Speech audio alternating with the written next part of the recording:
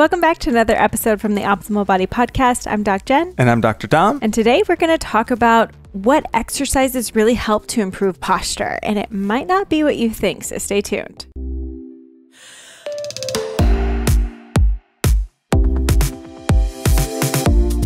Before we dive in, I just want to remind you to hit subscribe because Dom and I have so many more topics that we go over on questions that you ask, specific pains or diagnoses. And every week I come out with specific exercises you could do for a pain point, a diagnosis, whatever it may be.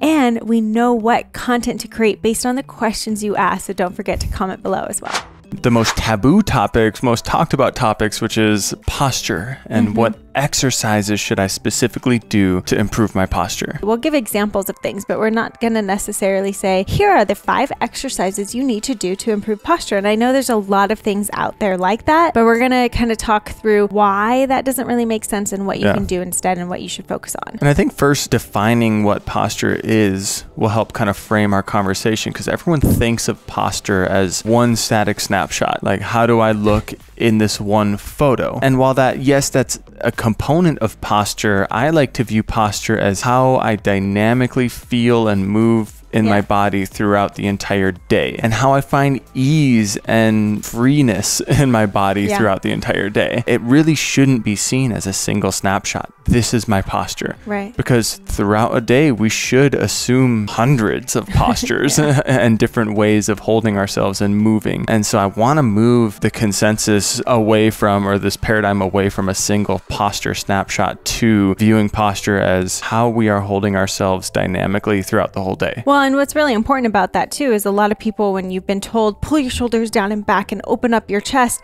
it actually creates an inefficient pressure system within your body because now I'm thrusting my rib cage out, I'm putting tension into my back, and so when I breathe, I'm going to probably put more tension into my chest rather than my lower rib cage and belly area that helps to disperse the pressure from my pelvic floor and back. That's just again, that's just one cue and one body area. Pull the shoulders down and back, and then some people will say, okay, and keep the rib cage down, and make sure your pelvis yeah. is engaged, and make sure. Uh, but again, a lot of these cues that people try to give are static. Right. It's something that you're doing just in, at one point in time. But how do we get some of that support? Essentially, what we're trying to do is find support and yes. find good balance in the body. Yeah. How do we get that support and balance to feel like it's lasting? To feel like we don't always need to be thinking about it. That's the key. Holding ourselves like a tin soldier. Yeah. Like it, it shouldn't need to be such a conscious thing that we're always right. voluntarily holding ourselves in this really stiff, rigid position. It should be something that we work on yes. and develop over time that becomes automatic. And it might look a little different for every person. And so, in general, the exercise is best to improve posture is exercise. Yeah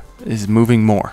Yeah. and within that movement, knowing where you have restrictions, knowing what you don't do a lot, knowing yeah. the positions you're sitting in for the majority of the day, whether it's at work, whether you stand and more actively, and you know that, oh, I'm always kind of overextending through my back. And, and then knowing when I have a break, I need to get some forward movements. Same so with doing sitting. the opposite yeah, of what you do more the opposite, the Yeah, of what you tend to do, what your tendencies are, so that you're working on your restrictions. And this doesn't necessarily have to be like an exercise program that you're doing on a, an everyday basis. Like what Dom is pointing out is that you're you're starting to put yourself in different positions, in different postures throughout the day based on what you're already doing. So if I'm sitting at my desk grounded, how often am I taking breaks to reverse that posture? How often am I taking breaks to open up my chest and do a simple mobility movement that isn't even a full exercise with mm-hmm. load, mm-hmm. but it's getting you to do something different because the more movement that we add into the day, the less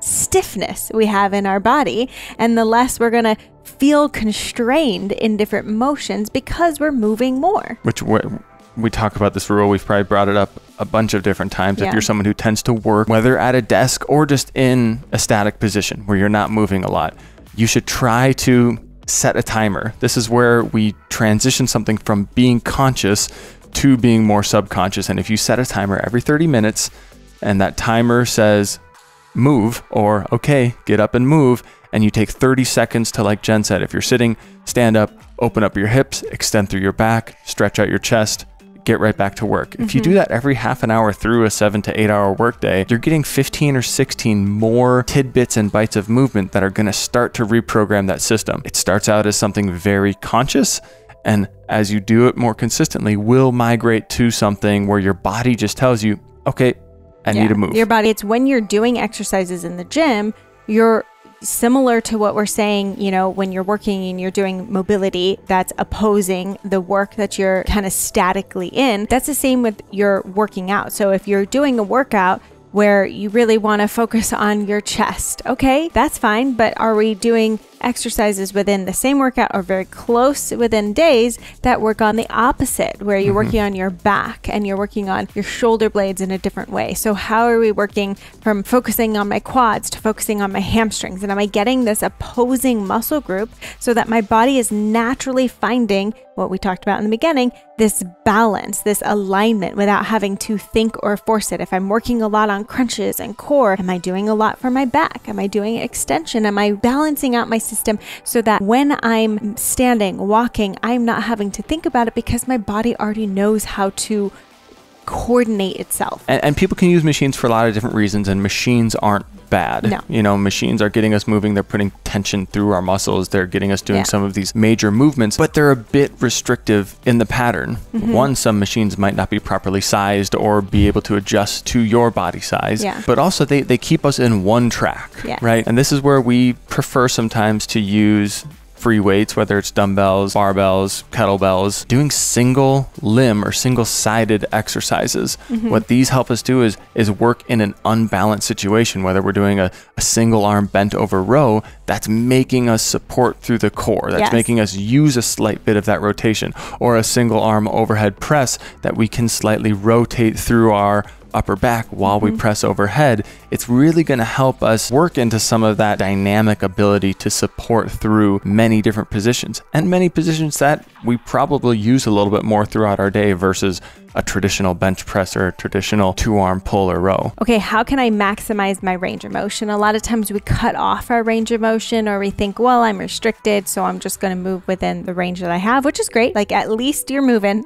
I'm happy with that, right? Mm-hmm. Exercise in general is great. So at least you're moving, but how can I maximize my range of motion so that I'm really working into my full joints capacity and I'm improving my range of motion as I'm doing exercise? I think you brought up the example of like someone who lifts a ton and they do a lot of row and pull exercises, but they always seem to still be pulled mm-hmm. forward at the shoulder. So they're doing that row exercise, but their shoulder always seems to be forward which some people might think I'm maximizing my range of motion because by I'm pulling, back further. Back. Yeah. I'm pulling my elbow back further. But again, having an understanding of form and some of those compensatory or those compensation patterns that we fall into and finding the range of motion with the shoulder blade. Yeah, not just uh, the shoulder. Again, in the row example, pulling back, finding that full range of motion of the shoulder blade retracting, getting a full row in, and then coming forward. Mm-hmm rather than feeling like you're pushing into a range that requires you to compensate. Yeah. Or if you're doing squats and you feel like, you know, I just can't get past parallel, you're using a little elevation for your heels then so that you can work on that core stability under load but being a little bit more upright. Again, this is going to help to naturally get into that pressure dynamic of the rib cage over pelvis and how you breathe and load in that position so that you breathe and load in standing and walking without having to think about it. and another thing is we talk about the eccentric phase of the mm-hmm. exercise, which is the phase of the exercise where we're lengthening the muscle. So think about laying on your back and doing a chest fly where both your arms are coming out to the side. The eccentric phase are when those weights are coming down to the ground because that chest muscle is lengthening while we're doing that. Mm-hmm. And anytime we lengthen under load, you know, we make that muscle work a little bit harder. We might even push more adaptation because of the work we're requiring the muscle to do in that eccentric phase. So really focus on controlled eccentric movements can even help with that mobility that yeah. we're looking for when we go through good full range of motion. I mean, all these things are going to help to bring bring you back to this balance within your own system. Everyone has their own system based on what they do during the day, how they lift, how they like to work out, like what they do. So there's no one way to do anything. It's just we're giving you principles to kind of move by mm-hmm. because in the end of the day, consistency is key. And the yeah. more that you do this, the better that you're going to feel. So what are the exercises that help with posture? Doing more of using more of these principles throughout your lifetime. That's what's going to really help your posture. Yeah. Some people listen to a podcast like this and they're just like, well, that's frustrating. They didn't tell me what Yeah. to do. You what know, are the five exercises? what are the five exercises? What's the one back circuit that I need to do to like keep my shoulders back? And again, you can hammer away at a back circuit all you want and not notice a long term difference because of some of these things we're bringing up. It, it is a consistent patterning thing that we need to work on. Mm-hmm. Finding consistency and specifically doing it on the things that you know you avoid or you know you have restrictions in. Yeah. We have plans for low back, hips. If your hips, you know, you're super restricted, you sit cross legged, your foot falls asleep. You can't sit cross legged. You know, you have some hip mm-hmm. restrictions. We have a hip plan. We have a shoulder plan. If you know you press overhead and you have restrictions there. So, if there are places within your body and you don't know what to do, you just want something to follow and not have to think about, that's what we do for Jen Health. And it goes along with whatever exercises you're already doing because it only takes 8 to 15 minutes a day. And you could break that up within the day as well. You could do one video in, in the morning, do your workout, and then one video later in the day. And as long as you're adding that in consistently, this is how you're going to start to address those restrictions along with all these principles with exercise to really help you feel so much more supported and balanced within your body. So there we go, some of our biggest tips on exercises or how you should focus on exercise to work on your posture throughout life. What did you think? Do you have any more questions coming out of that podcast? Are there things that you have found are really helpful in your own posture journey? Give us some topics that you want us to do podcasts on in the future. And of course, before you go, hit that notification bell and subscribe button so you don't miss out on any of our future videos.